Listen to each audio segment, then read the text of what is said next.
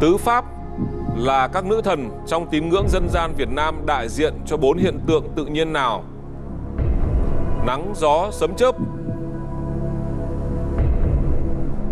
Gió, mưa, nắng, bão. Mây, mưa, sấm chớp. Hay là nắng, gió, mây, mưa? Xin mời bạn. Cái này em cũng không biết luôn. Cũng không biết luôn. Vâng. Vâng. Em nghĩ rằng là đáp án A. Bạn đang nghiêng ở phương án. A. Tại sao? Theo linh cảm của em. Theo linh cảm đúng không? Vâng.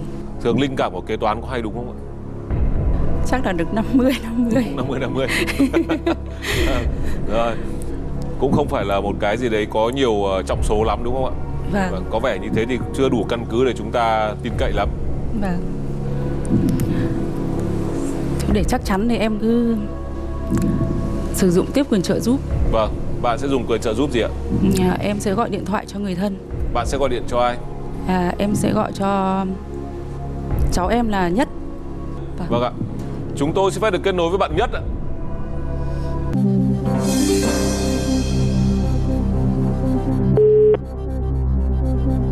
Alo, Alo, xin chào bạn Nhất ạ. dạ vâng, chào anh. Dạ. Vâng ạ, tôi là Dũng đã gọi điện cho bạn từ trường quay của chương trình Ai là Triệu Phú ạ.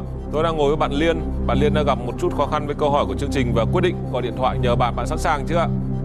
Ờ, vâng, em sẵn sàng ạ. Dạ vâng, hai bạn sẽ có 30 giây để vừa hỏi và trả lời. 30 giây, bắt đầu. Nhất ơi tứ pháp là các nữ thần trong tín ngưỡng dân gian Việt Nam đại diện cho bốn hiện tượng tự nhiên nào? Tứ pháp, Tướng Pháp ạ. tứ pháp là các nữ thần trong tín ngưỡng dân gian Việt Nam đại diện cho bốn hiện tượng tự nhiên nào?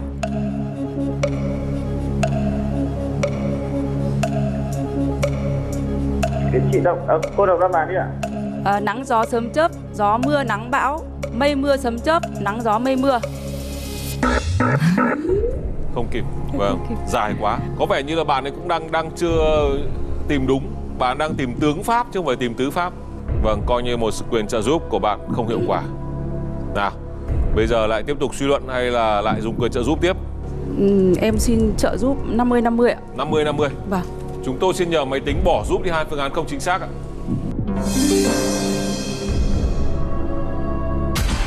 Rồi, còn gió mưa nắng bão hay là mây mưa sấm chớp? Xin mời bạn.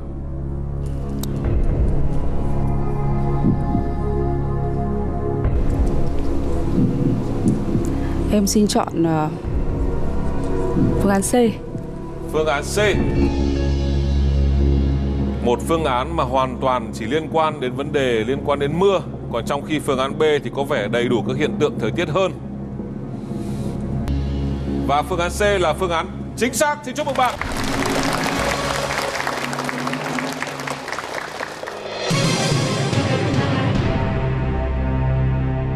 Tứ pháp chính bao gồm có pháp vân là chủ quản về mây, pháp vũ chủ quản về mưa, pháp lôi chủ quản về sấm và pháp điện là chủ quản về chớp. Thực ra với một đất nước mà ngày trước khi mà nền ờ, nông nghiệp là lúa nước thì cái việc là mưa thuận gió hòa là việc cực kỳ quan trọng. Ờ, tất nhiên là các cái ờ, phương án khác thì nếu như chúng ta suy luận ra thì phương án nào cũng có một cái chút gì đấy có lý. Sau khi tới hai quyền trợ giúp và cộng với sự phân tích của bạn, bạn đã vượt qua được câu số 7.